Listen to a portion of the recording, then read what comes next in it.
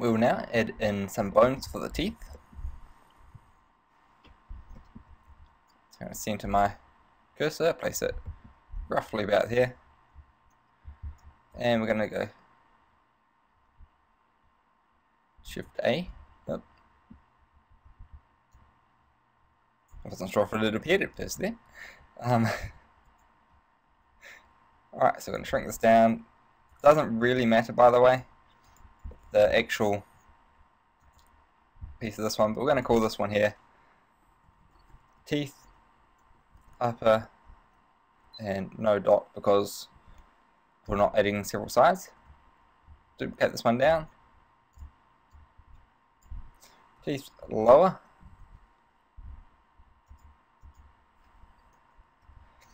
And duplicate this across one more time, and we're going to call this one here tongue.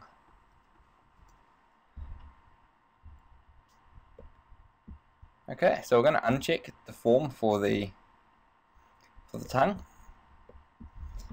And for all of these ones up here, I'm also going to uncheck deform.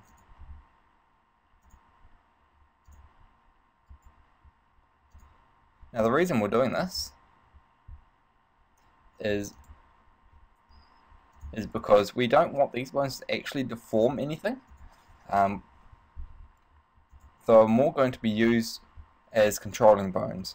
So either these ones are going to control other bones or the meshes are going to be parented to them directly. So it's just good habit to do this while you are.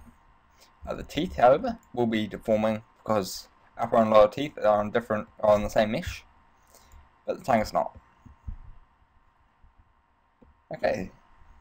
So lastly, we want to add in a new bone for each shape key. Alright. So that's a lot of shape keys. Um, we're going to be adding quite a few. So let's go ahead and we'll duplicate this one across. Going to call this one here chin. And we will also have lip bottom. They don't have to be placed perfectly by the way. Lip top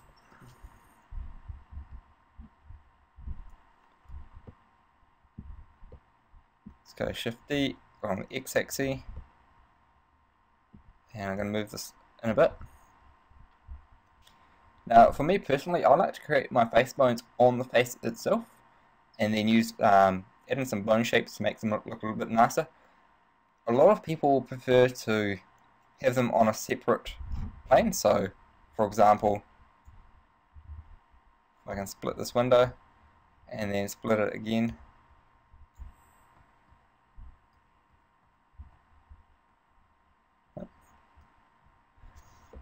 I'd have it out somewhere like this and you create all your bones here and then as you animate you simply move around your bones over here.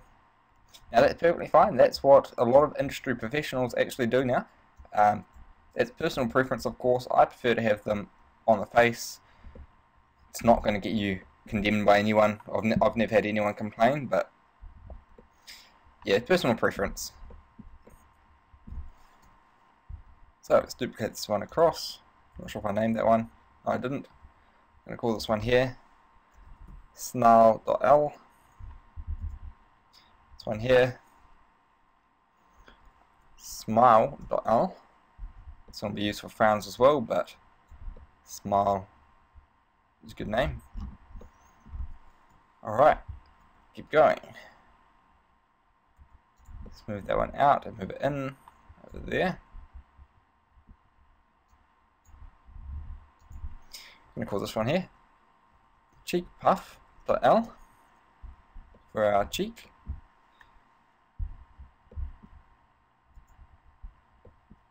Moving up, let's move this one up over here. And it's in about the right position there. Move it out a bit. This one here is going to be squint L.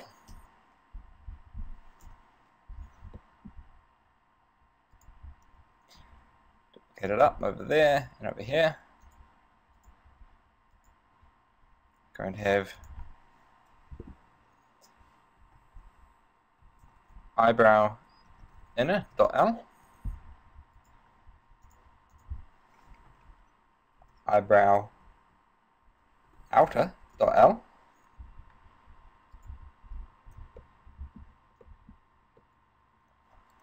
And we're almost done now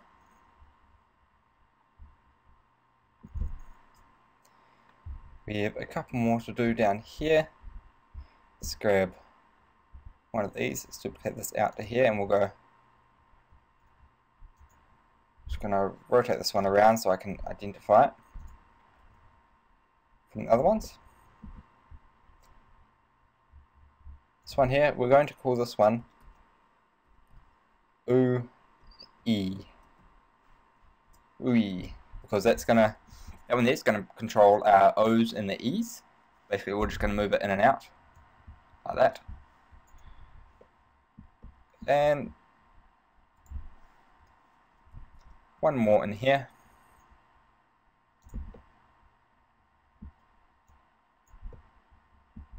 Looks a bit of a mess like this, but when you actually add in your bone shapes, um, it does look a lot tidier.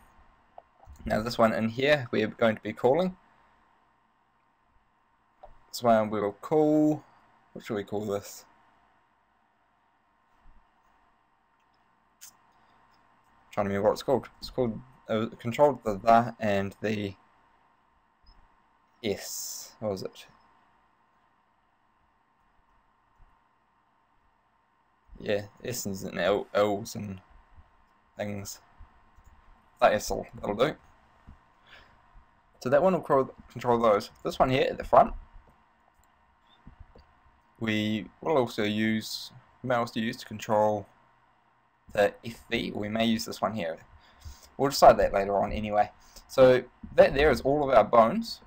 You can see that, that we do need to add them on the other side, so I'm just going to quickly hide these so they're not in my way.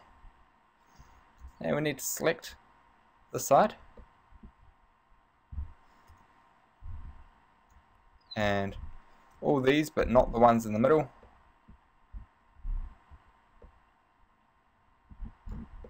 So those ones there, yep, so we've got the whole lot selected now on the left hand side of the model.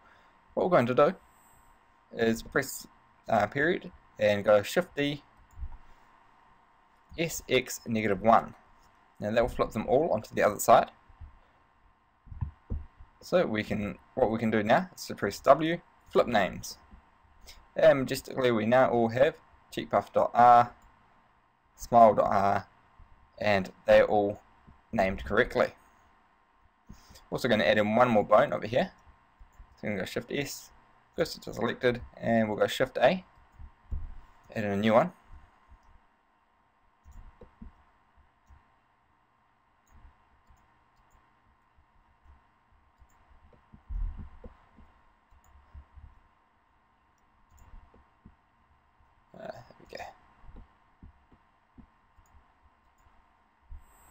Now this one here is just going to be a way to allow us to control them.